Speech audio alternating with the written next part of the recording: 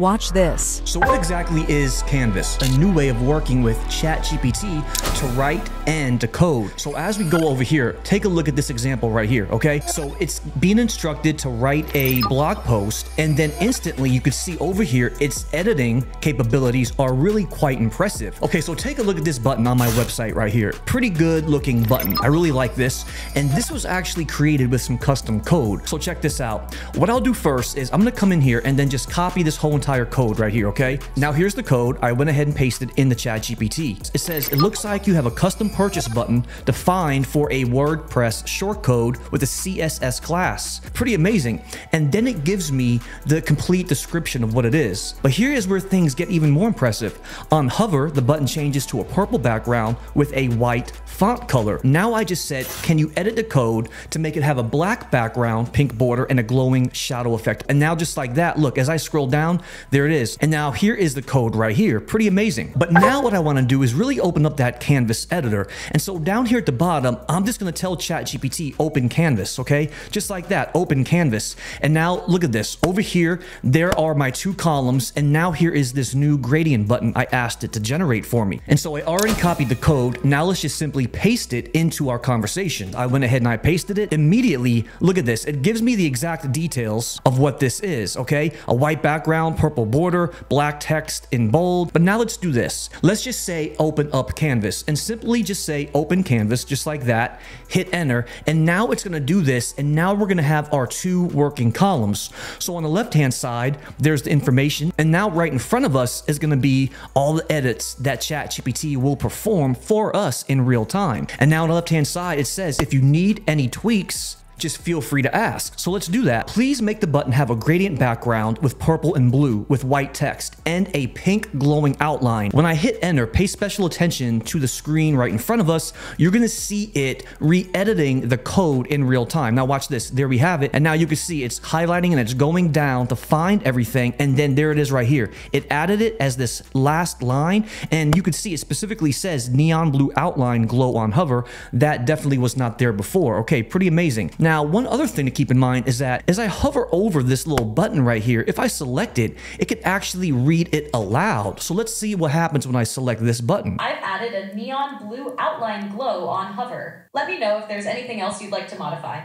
Okay, that's pretty impressive. Okay, now it is time for the moment of truth. Here we are over here on the homepage of my website, and then you can see right here, here is the original button, okay? That is gonna be the custom one I got earlier. And then these buttons up here were actually transformed into this style. Okay, so here we are, and then here is this actual button right here. I'm gonna go ahead and open it up, and then there's the code, okay? There's the code from the original one. Simply what I'm gonna do now is just come back over here and make sure I get the HTML shortcode right here, okay? So here is the HTML shortcode, just just like that. I'm to go ahead and copy this one and now paste my short code right here. And now let me look at the CSS. There is the CSS for the original one. I'm to go ahead and then delete all of that. Come back over here into ChatGPT and now simply copy and paste all of this CSS code just like this. Come back over here and now paste it into my website just like that. And let's go ahead and hit save and now see what happens. Look at that. There it is with that glow. Now Let's see what happens on the hover if it did exactly what I was looking for. Oh, look at that. That is perfect. It gave me everything I was wanting with that nice hover. Now let's move on and let me show you something else that's highly impressive. All right, so we're back in Chat GPT and I'm just gonna simply paste in all of my text. And now you can see my text right here. I basically said, help me write a blog post, okay? Here is my topic. I want it to be based on recent releases. Now, two key things you wanna keep in mind, okay?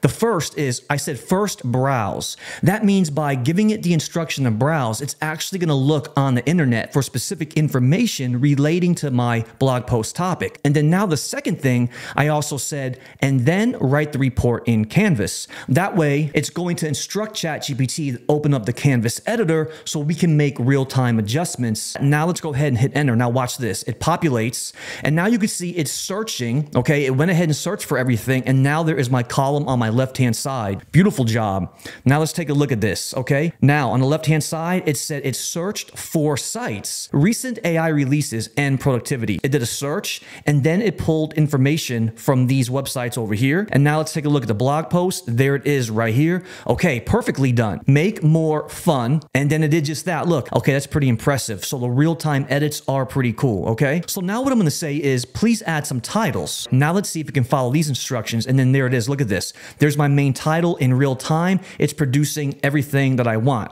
Okay, one more thing. Let's highlight this right here. Okay, and now I'll say make more exciting. Okay, make AI across industries more exciting. A little bit bland, a little bit boring. AI revolutionizing industries. Okay, better. So now you get the gist of what this can kind of do. But now, before we wrap this up, let me show you one more very helpful thing you're gonna love. Now, here is my script for a recent video I uploaded in Canva. I'm gonna go ahead and now download this as a PDF, okay, directly from Canva. I'm now gonna come in here to ChatGPT. Let's go ahead and open up a brand new chat. And then now what I'll do is I am gonna upload this over here in the actual conversation. So I'm gonna click and drag my file that I just downloaded and I'm dropping it right here. And now there it is. And I said, help me draft a blog post from my notes, write it in Canvas. And based on the information, please add more relevant information to it. So let's see if it does that. Now hit that send button and now watch this, okay? There it is, Canvas opened up. And now we have these two columns working hand in hand on the left and right hand side. So literally took my whole entire PDF and it said, I drafted the blog post based on your notes and added more relevant information to expand on the ideas presented. And so as I scroll down and I can look at this, this looks phenomenal. Now check this out. Here's where things get taken to a whole new level. Now what I'll do next is notice right here, I'm gonna go ahead and highlight this, okay? This specific camera, Canon EOS R5. Now watch this. Now I'm gonna say ask ChatGPT. So when I use this camera in specific prompts to generate images, this camera makes some amazing looking images when I use this in prompts. But now what I'll say is, please replace this camera with a different, more expensive one. And it did just that. Leica SL2-S. Now that is amazing because when I saw that it could do this, that just made me realize that now sky is the limit for our image generation prompts. You can do this for anything. If you have a specific prompt that you like, let's say a specific camera angle, a lens, or in this case, the camera that I just showed you, you could do the same exact thing. You can hover over and highlight a specific topic or description or a camera and now ask ChatGPT to replace it with anything else. Let's just say I hover over golden hour with sunlight softly. Now I'm to ask ChatGPT. I said, now rewrite this, but as the opposite description. Let's see if we get something different besides golden hour. Okay, pretty cool. During blue hour, with shadows deepening and light fading. That is incredible because golden hour is going to be like more of like a sunrise or a dusk, and then blue hour is going to be right before the sun is about to set. Fantastic. So there you have it. And honestly, I didn't even scratch the surface of what this thing can do. And if you enjoyed this video, Make sure you hit that subscribe button. thanks for watching.